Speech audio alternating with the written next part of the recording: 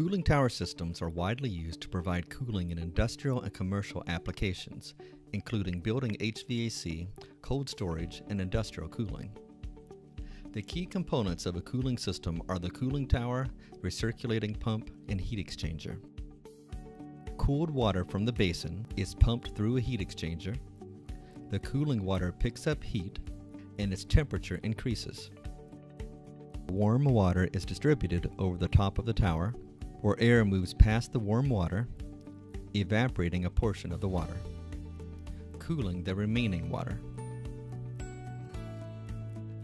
Repeating the loop, where cooled water from the basin is pumped through a heat exchanger, and so forth.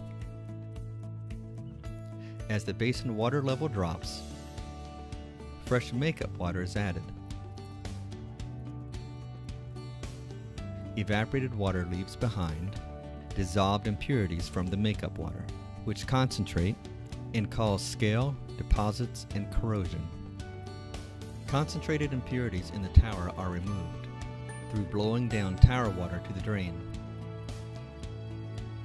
The basin water level drops due to these evaporation and blowdown losses, and more makeup water is added to maintain level.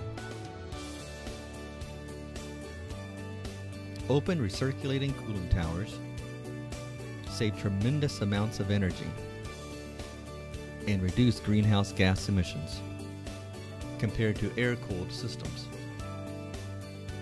Challenges include water conservation, corrosion, scale, deposits, microbiological activity. Professional water treatment minimizes these challenges.